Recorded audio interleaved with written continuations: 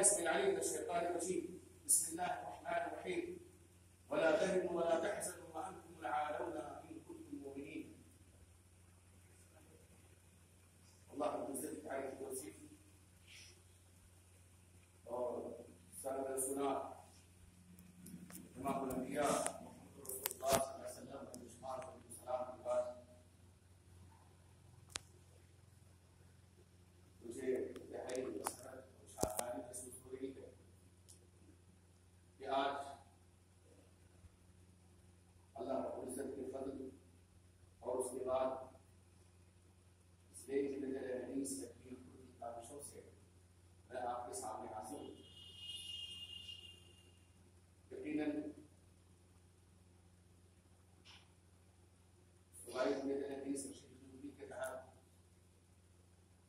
اضلاع ہیں ان میں ضلع جو میرے حدیث تنظیم کو ان متحرک اور فعال نیتوں میں سے ہے جو نہ صرف یہ کہ اپنے فرض منصبی کو پہچانتی ہے، بلکہ اس کے لیے تگودو اور کوشش و کاوش بھی کرتی ہے۔ اور خصوصیت کے ساتھ اس سے قبل جب ابتدائی پرانی کے جمعیت کے بارے میں بعد یہ صاحب موجود ہیں اور بعد میں حرکت و نشاط سے بھرپور شخصیتیں جو میسر ہوئیں خصوصیت کے ساتھ برابر عزیز، جناب مولانا سلیم محمد صاحب جامع احمد اللہ اور جو ناصر ہیں جی، میں حدیث کے اور اسی طرح سے مولانا صاحب تبریح احمد اللہ دوران ناصر ہیں اور اس مدرسے کے استاد ہیں۔ احمد بھائی اور دیگر جو حضرات ہیں، یقیناً خوشی ہوتی ہے اس جگہ پر پہنچ کر کے کہ جہاں کے لوگ اس طرح سے حرکتوں و سے دور ہوتے ہیں اور دعوت دین کے لیے کیسا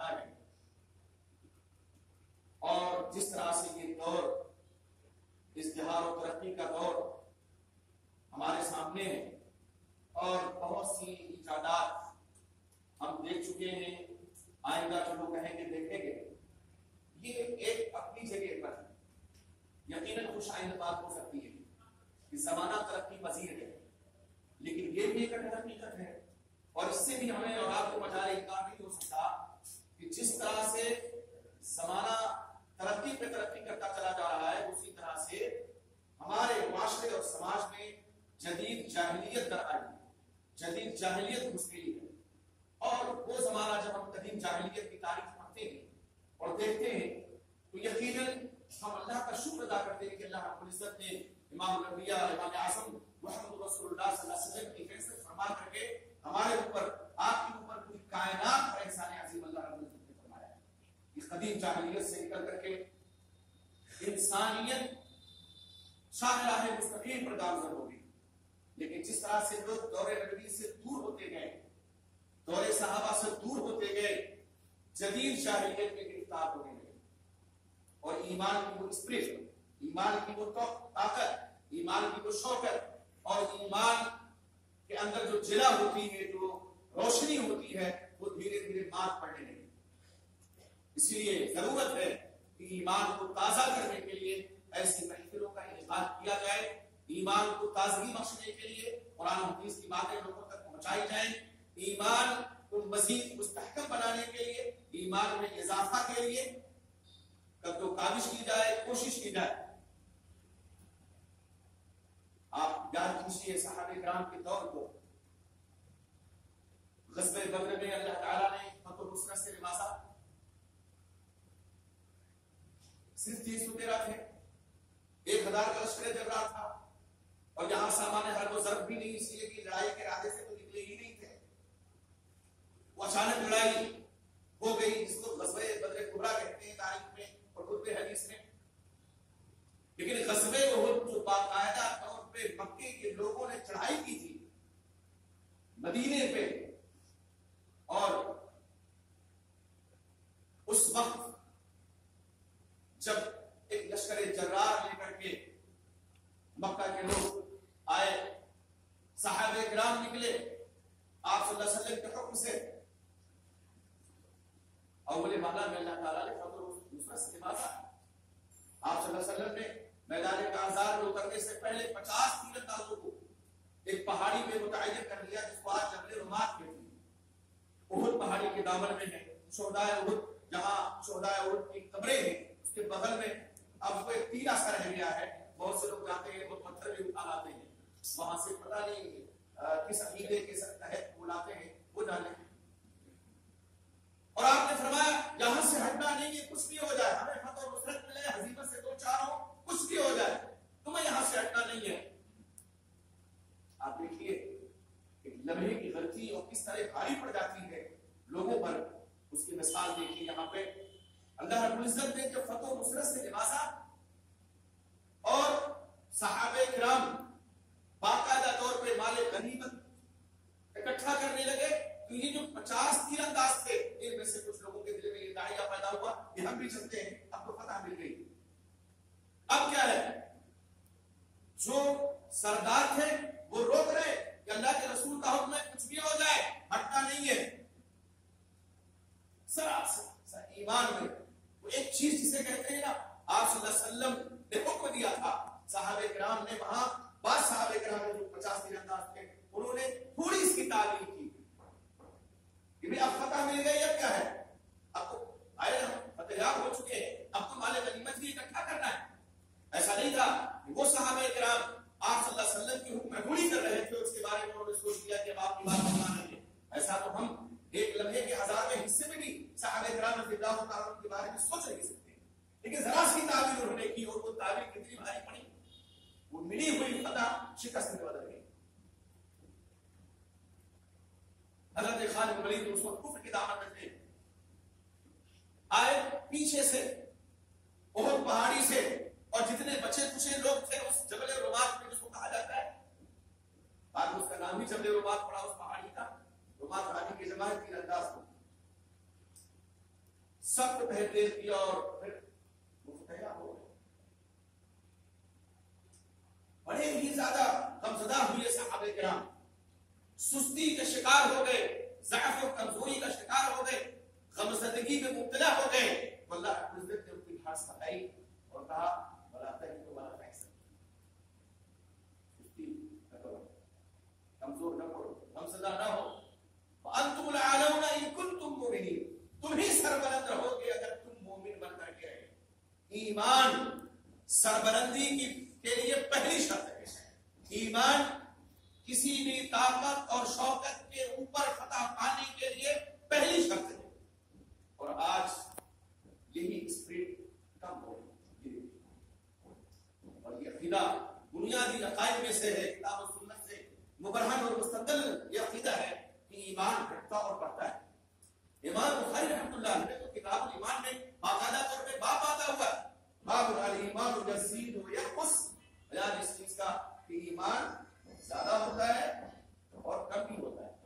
قرآن مجید کے دلائل دیے ہیں، بس اتنا ہوتا۔ عدالت ایمان ایمان میں اللہ تعالیٰ نے زیادتی کر دی، ہدایت میں زیادتی کر دی۔ اور زیادتی نقص کو مستلزم ہے۔ جو چیز زیادہ ہو سکتی ہے، وہ کم بھی ہو سکتی ہے۔ اس کے بے شمار دلائل امام بخاری رحمۃ اللہ نے دیے۔ بعد میں کچھ ایسے لوگ پیدا ہوئے جنہوں نے یہ عقیدہ اپنا بنا لیا کہ ایمان مسیح ہے۔ گھٹتا بڑھتا نہیں ہے۔ اور یہاں تک بنا لیا عقیدہ کہ ایمان ہونا ہے ایمان ابھی بکری ہمارا ایمان ابو بکر صدیق کے ایمان کی طرح ہے۔ یہ ہو سکتا ہے۔ حضرت ابو صدیق رضی اللہ تعالیٰ عنہ کے ایمان کی طرح سے کیا ہمارا ایمان ہو سکتا ہے؟ کوئی سوال ہی نہیں ہے۔ لیکن چونکہ عقیدہ بنایا گیا کہ ایمان بسیط ہے، مرکب نہیں ہے۔ ایمان بسیط ہے، ٹھوس ہے، اس میں کوئی چیز اب داخل نہیں ہو سکتی، نکل نہیں سکتی۔ ایمان میں کمی اور زیادتی نہیں ہو سکتی جب یہ عقیدہ بنا لیا گیا، تو پھر دائرے یہ کہنے میں کوئی ہچک محسوس آدمی نہیں کرے گا کہ ہمارا ایمان بکر صدیق کا ایمان برابر ہے۔ انتہائی فاصل عقیدہ ہے۔ اور مرچیا ایک فرقہ پیدا ہوا اسلام میں، کرامیہ ایک فرقہ پیدا ہوا اسلام میں۔ مرچیا نے یہ عقیدہ بنایا اور یہ کہا کہ ایمان رہتے ہوئے کوئی گناہ نقصان نہیں پہنچا سکتا۔ لا ایمان۔ ہم مومن ہیں، ایمان کے دعوے دار ہیں، کلمہ ہم نے پڑھ لیا، گناہ پہ گناہ نوز باللہ کرتے چلے جائیں، ایمان میں کوئی نقصان نہیں ہوگا یہ جو عقیدہ تھا اللہ جزائے خیر دے امام بخاری رحمۃ اللہ علیہ کو دیگر محدثین کرام کو انہوں نے باقاعدہ طور پہ اس باطل عقیدے کو نہ صرف یہ کہ فاش کیا بلکہ اس کا رد بھی کیا کتاب و سنت کے دلائل کی روشنی میں۔ ایمان گھٹتا اور بڑھتا۔ ہے یزید بالطاعہ وینقص بالمعاصی۔ اللہ اس کے رسول کی اطاعت کرنے سے ایمان بڑھتا ہے، اس میں اضافہ ہوتا ہے اور نافرمانی کرنے سے اللہ اس کے رسول کی ایمان کیا ہے؟ گھٹتا ہے۔ اور ایمان تین چیزوں کے مجموعے کا نام اقرار باللسان تصدیق بالجلال عمل بالارکان زبان سے اقرار کرنا، ہم اقرار کریں، اشہد ان لا الہ الا اللہ واشہد ان محمد عبدہ ورسوله کلمے کا اقرار ہم زبان سے کر کے تب دائرہ اسلام میں داخل ہوتے ہیں۔ اور تصدیق بالجلال جس کلمے کا ہم نے اقرار کیا ہے زبان سے اس کی تصدیق دل سے کریں اور عمل بالارکان ارکان کے ارکان اسلام پہ عمل کرنا تین چیزوں کے مجموعے کا کیا ہے؟ ایمان ہے اور ایمان مرکب ہے۔ امام شافعی رحمۃ اللہ علیہ فرماتے ہیں فالمخل بالاول کافر. جو شخص اقرار نہ کرے، ایمان کا ہو گیا ہے؟ کافر اگر زبان سے نہیں کہا، اقرار نہیں کیا ہے، وہ کافر ہے۔ والمخل بالثانی منافق. ایک شخص نے زبان سے اقرار کر لیا، لیکن دل سے تصدیق نہیں کر رہا ہے۔ امام شافعی رحمۃ اللہ علیہ فرماتے ہیں، وہ منافق ہے۔ مدینے کے منافقین جب آپ صلی اللہ علیہ وسلم کے پاس آتے ہیں، قرآن کہتا ہے، اللہ کہ نہ کرنے کا رسول اللہ ہم گواہی دیتے ہیں کہ بے شک البتہ آپ اللہ کے رسول ہیں۔ اور جب اپنے لوگوں میں پہنچتے تھے تو کہتے تھے، ہم ان کے ساتھ مذاق کر رہے ہیں۔ کیا زبان سے اقرار کرتے تھے، دل سے تصدیق نہیں کہ انہوں نے ان کو کیا کہا گیا؟ منافق۔ اور منافقوں کے انجام کے بارے میں اللہ نے کیا فرمایا؟ ان المنافقین فی الدرک الاسفل من النار۔ منافق جہنم کے سب سے نچلے رہتے ہیں۔ والمخل بالثالث رحمۃ اللہ علیہ فرماتے ہیں، اور جو ایک آدمی زبان سے اقرار کرتا ہے، دل سے تصدیق کرتا ہے، لیکن عمل نہیں کرتا، وہ عمل نہیں کرتا ہے، وہ فاسق ہے۔ اور جب فسق پر فسق چڑھتا چلا جائے، تو آدمی کو کفر میں جانے سے بچا نہیں سکتی لیے فسق سے بھی ہمیں بچنا ہے۔ اور ہمیں اللہ اس کے رسول کی فرما برداری کرنی ہے، اپنے ایمان کو مستحکم بنانے کے لیے، ایمان میں اضافہ کرنے کے لیے ہمیں قدر و کاوش کرنی ہے۔ یہ آیت آج بھی ہمارے اوپر فٹ ہو رہی ہے. آج پوری امت مسلمہ ایک عجیب ماحول میں جی رہی ہے. صرف ہمارے ہندوستان میں نہیں، پوری دنیا کا منظرنامہ آپ دیکھیے. مسلمانوں کا جو حال زار ہے اور مسلمانوں کی جو حالت زار ہے، انتہائی ناگفتہ ہے. اور مسلمان لگتا ایسا ہے کہ ہمت ہار چکا ہے. میرے بھائی، یہاں تیرو تفاق کی ضرورت نہیں ہے. یہاں کسی اور چیز کی ضرورت نہیں ہے. ہم اگر صرف اپنے ایمان کو مضبوط کر لیں اپنے ایمان میں اضافہ کر لیں۔ ایمانی طاقت ہمارے اندر آ جائے تو پھر ہم تمام مسائل کا، تمام آلام کا خندہ پیشانی سے مقابلہ کرنے کے ہم سمجھیں گے کہ آزمائش اللہ کی طرف سے ہے۔ جزا خدا نہیں کریں گے، ہائے ہائے نہیں بچائیں گے۔ اور آج جو کچھ ہو رہا ہے، وہ مسلمانوں کے اعمال کا نتیجہ ہی ہے۔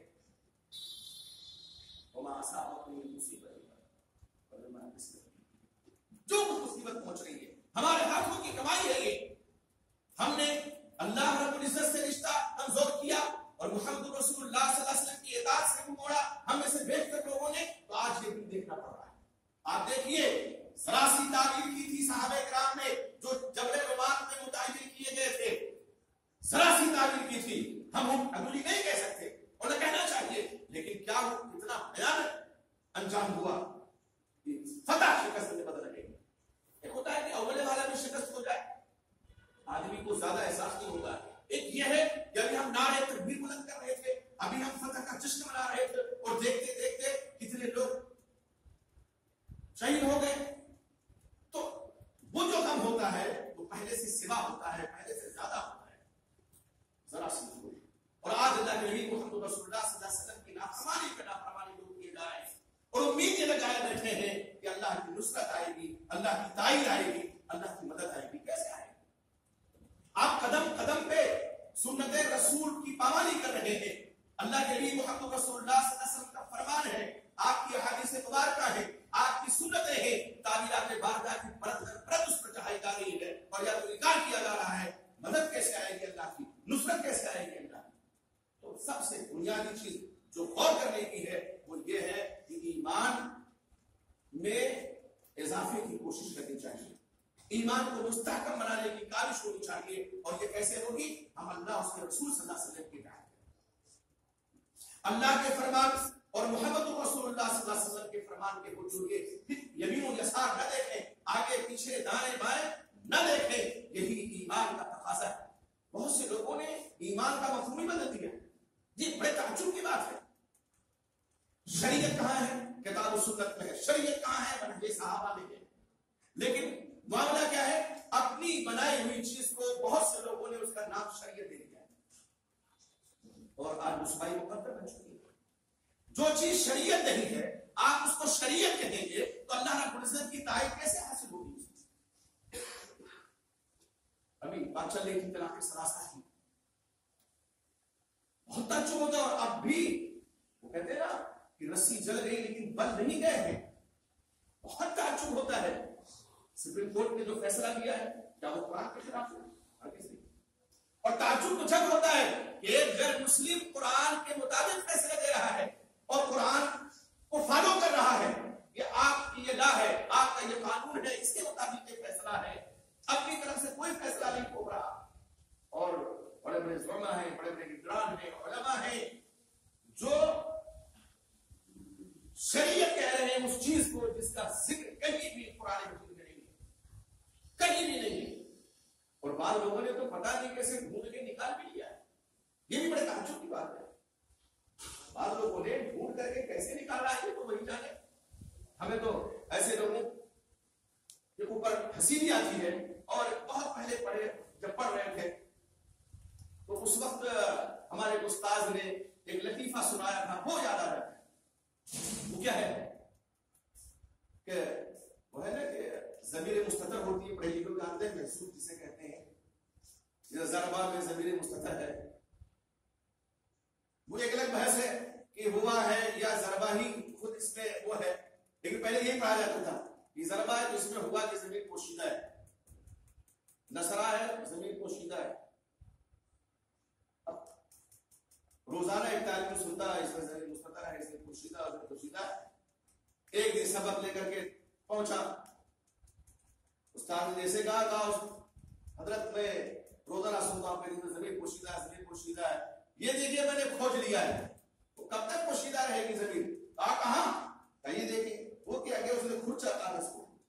ایسے کھرچا کھرچا کو نیچے ہوا لکھا ہوا تھا اتفاق سے دوسرے سفر پہ پہلے سفر کھرچا تو نیچے ہوا لکھا ہوا کہا، یہ دیکھیے، نکال لیا۔ تو ایسے کھرچ کر کے آپ کہاں سے نکالیں گے؟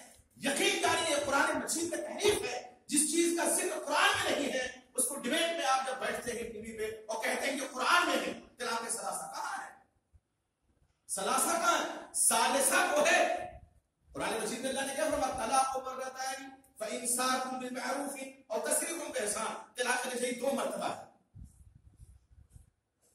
اب بھلے طریقے پہ روکے رکھنا ہے یا اس نے شروع کرتے ہوئے چھوڑ دینا ہے لیکن اس کی طلاق دے دینی ہے لیکن طلاق کے دو مرتبہ یہ مرحلہ جب گزرے گا تب تیسری طلاق کی نوبت باری آئے گی۔ تو طلاق سالسہ ہے سلاسہ نہیں۔ یہ بیت دے دیجیے آپ۔ فَإِن طَلَّقَهَا، یہ تیسری طلاق ہے۔ تین طلاق نہیں ہے۔ اور الگ الگ ہے۔ اور دیکھیے طلاق سے پہلے تحقیق کا مرحلہ ہے۔ بات چیت بند کرنے کا مرحلہ ہے۔ ان تمام مراحل سے آدمی نہیں گزرتا ہے، ڈائریکٹ تین کہہ دیتا ہے۔ اور لوگ کہتے ہیں کہ یہ نافذ ہو گئی اور ایمان سمجھ لیا اس کو، شریعت بنا دیا اسے۔ ہمارے خالد بھائی نے واٹس ایپ سے جڑے ہوئے ہیں، حنفی ہے اللہ جزائے خیر دے۔ ایک بار تو مجھے واٹس ایپ کیا انہوں نے کہا مولانا آپ جانتے میں حنفی ہوں۔ لیکن مجھے بڑا تعجب ہوتا ہے اپنے علماء کرام پر کہ ایک مجلس کی تین طلاق کو بدعت کہتے ہیں اور بدعت کو جہالت کہتے ہیں اور جہالت کو فخر بھی کر رہے ہیں، یہ الفاظ ہوتے ہیں۔ میں نے جواب دیا، میں نے کہا، اللہ کا شکر ادا کیجیے کہ آپ حنفی ہیں، جو بندی بریلوی نہیں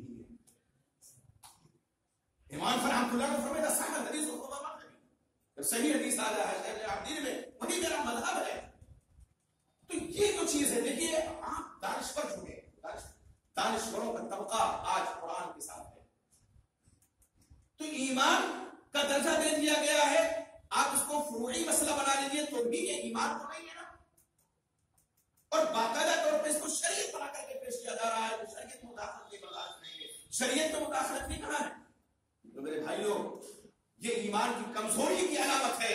اگر ایمان مضبوط ہوتا، قرآن سے رشتہ مضبوط ہوتا، سنت رسول صلی اللہ علیہ وسلم سے رشتہ مضبوط ہوتا، حضرت عمر فاروق رضی اللہ تعالیٰ عنہ کا ہمارا بھی لوگ پیش کرتے جنہوں نے خود رجوع کر لیا تھا، جن اس مسئلے میں تو یہ جو ہے، آج حالات جیسے بھی ہیں ہمارے ساتھ اور جن حالات سے گزر رہے ہیں، یہ اپنے ہاتھوں کی کمائی کی ہے۔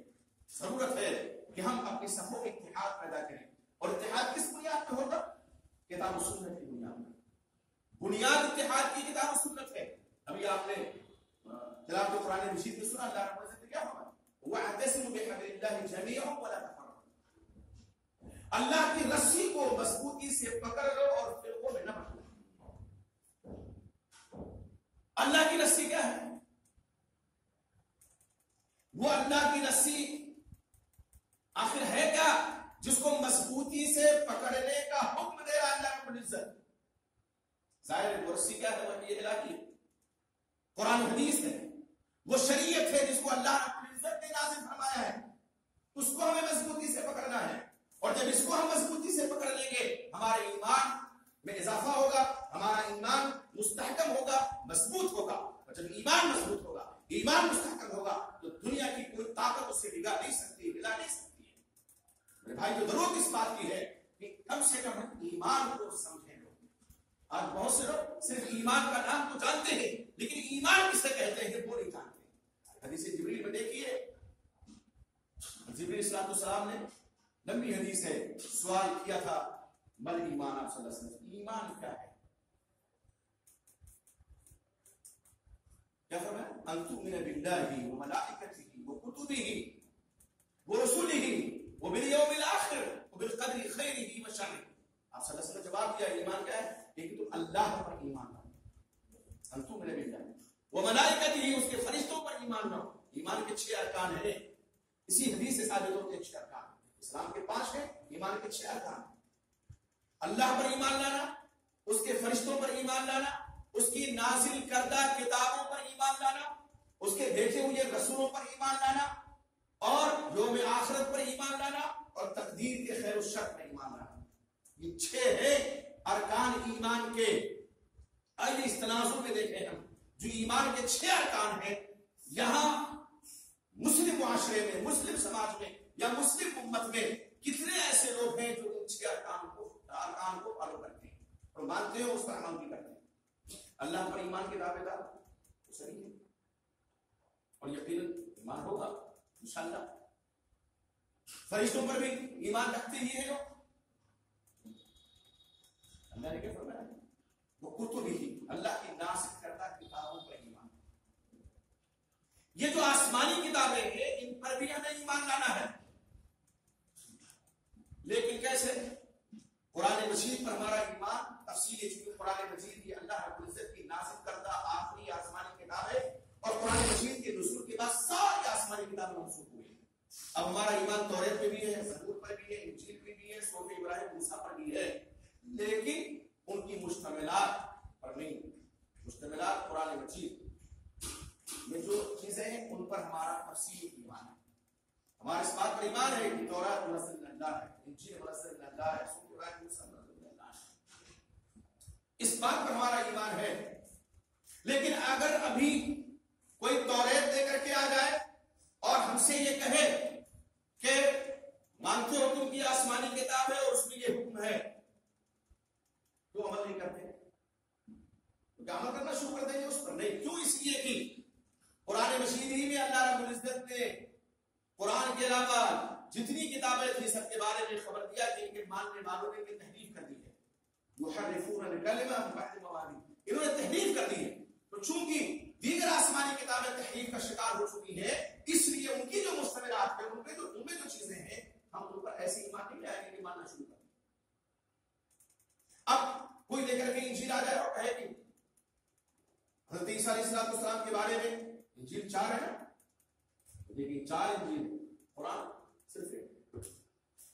یہ دیکھ، قرآن صرف ایک ہے۔ اور یہ ہمارے لیے بڑی فضیلت کی بات ہے۔ اللہ تعالیٰ نے اس امت کو آخری امت بنایا اور اس آخری امت کے لیے اللہ تعالیٰ نے اس کی ہدایت کے لیے جو کتاب نازل فرمائی، آخری کتاب جو نبی الرسول مبعوث فرمایا، وہ آخری نبی اور رسول تھی۔ ہمارے بعد اب کوئی امت نہیں آئے گی، قرآن کے بعد اب کوئی آسمانی کتاب آنے والی نہیں اور محمد رسول اللہ صلی اللہ علیہ وسلم کے بعد اب کوئی نبی رسول آنے والا ہے کتنے اعزازات سے اللہ رب العزت نے ہمیں آپ کو امت مسلمہ کو نوازا ہے۔ لیکن آج کتنے لوگ ہیں امت محمدیہ بھی جو ان تمام اعزازات کی دھجیاں اڑا رہے ہیں آپ دیکھیے انجیل کی نہیں مانیں گے ہم۔ ہم کی آسمانی کتاب۔ ہمیں اس سے کیا سبق ملا؟ جب ہم انجیل کی نہیں مان سکتے، آج اگر انجیل آ جائے اور اب عیسیٰ علیہ السلام اسلام تو آئے گے ہی۔ یہ ہماری ایمانیات میں سے آخری دور میں نزول کا ہوگا۔ کس پر عمل کریں گے؟ قرآن اور حدیث کے علاوہ آخر کس پر چلیں گے؟ کس کی پیروی کریں گے؟ بالوں نے یہاں تک لکھ دیا کہ افرت حنفی پہ چلیں گے کوئی تو ہے؟ وہ نبی ہے، رسول بھی ہے، صاحب کتاب نبی ہے۔ ایک امتی رتبے میں، مرتبے میں کتنا بڑا کتنا ہو جائے، کسی نبی اور رسول کے مرتبے کو نہیں ہو سکتا اور اسی امت میں سب سے افضل انسان کون ہے افضل البشر بعد الانبیاء ابو بکر صدیق رضی اللہ عنہ انبیاء کے بعد سب سے افضل انسان ابو صدیق رضی اللہ عنہ یہ بتائیے ہمیں، کیا صحابہ کرام نے حضرت ابو صدیق کا کوئی فرمان اگر حدیث کے خلاف ہے تو اس کو تسلیم کیا؟ نہیں کیا۔ بڑا مشہور بات ہے، اکثر آپ لوگوں نے سنا ہوتا ہے دادی کی وراثت کسی طرح ہوتے حضرت صدیق نے کہا، اما فی کتاب اللہ، رہی اللہ کی کتاب، فلا اجد لک فی شیئا، کوئی چیز میں نہیں پاتا۔ اس دادیا اور جہاں تک میں جانتا ہوں، آپ صلی اللہ علیہ وسلم نے بھی تمہیں کوئی حق نہیں دیا جو صورتحال تھی، اس میں سچتا حصہ بنتا تھا۔ دو صحابہ کرام کے بعد دیگرے کھڑے ہو گئے حضرت محمد المسلمہ حضرت مغیرہ بن شعبہ کی بات کہ اللہ علیہ وسلم نے دادی کو پوتے کی وراثت میں دیا ہے۔ خلیفۃ المسلمین ہے امیر المومنین ہے افضل البشر بعد الانبیاء ہے مراتب اور مقام بہت اعلیٰ اور عرفہ رکھتے ہیں ان کی ایک نیکی حضرت عمر فاروق رضی اللہ تعالیٰ عنہ کی ساری نیکیوں پر بھاری ہے یہ ساری فضیلتیں ان کو حاصل ہیں اس کے باوجود صحابہ کرام جو مجلس میں موجود تھے جب یہ فتوا کہہ لیجیے سنا ہم صدیق رضی اللہ عنہ سے فوراً کھڑے ہو وہی مجلس میں۔ اور جس طرح سے ان کو ٹوکتے دیر نہیں لگی تھی، اگر صدیق کو اپنا فیصلہ واپس لیتے دیر نہیں لگی۔ جب آپ کا فرمان ہے، یہی ہے۔ ان سے بڑا امت میں کون ہے؟ اور ان کے بارے میں افضل البشر بعد الانبیاء انبیاء کے بعد۔ کوئی ان کے علاوہ امت میں کوئی کتنے بڑے مرتبے پر فائز کیوں نہ ہو جائے اب صدیق کا مرتبہ تو نہیں پا سکتا اور جب کوئی صدیق دلوں کا مرتبہ نہیں پا سکتا، تو حضرت عیسیٰ علیہ السلام سے بڑھ جائے گا اس کا مرتبہ۔ حضرت عیسیٰ علیہ السلام اس امتی کے پیچھے چلنے لگے، تو یہ تو ایک دم گپ ہے۔ ہاں وہ شریک محمدی کے مطابق فیصلے کریں، اس پر عمل کریں، ان کے سامنے قرآن اور اللہ کے نبی محمد رسول اللہ صلی اللہ علیہ وسلم کا فرمان۔ ہم سوچ سکتے ہیں، آپ سوچ سکتے ہیں، کوئی بھی سوچ سکتا ہے۔ انجیل آسمانی کتاب ہمارا ایمان ہے۔ چلیے، ان کے ماننے، انجیل کے ماننے والوں نے تحریف کر دی، اس کے ماننے والوں نے۔ لیکن عیسیٰ علیہ السلام السلام کو تو معلوم ہے نا کہ اصلی انجیل کون سی ہے۔ جو اللہ تعالیٰ نے میرے اوپر نازل کی تھی۔ تو کیا اس انجیل کو چلائیں گے وہ؟ اس انجیل کی مشتملات پر عمل کریں گے وہ؟ انجیل کی دعوت دیں گے لوگوں کو؟ نہیں، وہ قرآن کی دعوت دیں گے۔ اللہ اس کے رسول صلی اللہ علیہ وسلم کی دعوت کی دعوت دیں گے اور نماز جس طرح ہم پڑھتے ہیں، اسی طرح وہ نماز بھی پڑھیں گے۔ ایسا نہیں ہے کہ ان کے زمانے میں جب وقت نماز سے اتنے ہی وقت نماز پڑھیں گے۔ آپ ذرا دیکھیے ایمان۔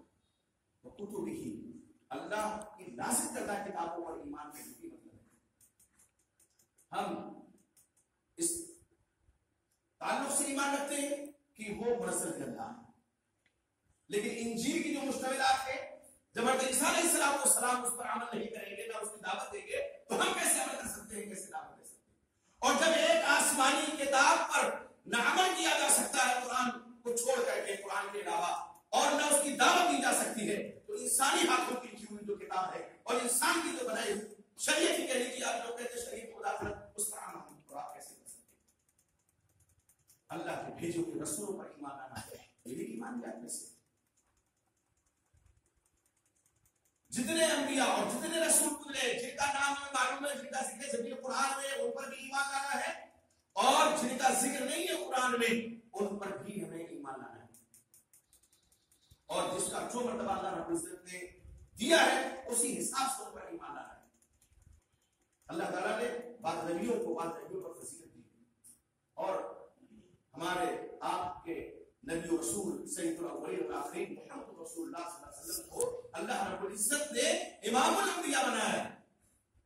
آپ نے فرمایا، انا سید ولد آدم ولا فقر میں اولاد آدم کا سردار ہوں اور اولاد آدم میں نبی بھی ہے، رسول بھی ہے، سارے لوگ۔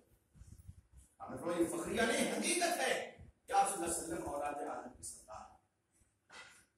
تو میرے بھائیو، ایمان کو مستحکم آج کرنے کی ضرورت ہے۔ توحید کو اپنی زندگی میں نافذ کرنے کی ضرورت ہے۔ آج بہت سے لوگ ہیں، کلمہ پڑھتے ہیں اور کلمہ پڑھ کر کے ایمان بھی رکھتے ہیں اپنے اعتقاد کے حساب سے، لیکن کلمے کے معنی و مفہوم کو نہیں سمجھتے۔ یہ یہ بہت بڑی ٹریڈیشن ہے بہت بڑا المیہ ہے امت کا لا الہ الا اللہ کا کیا مطلب ہے؟ بہت سے لوگ نہیں جانتے۔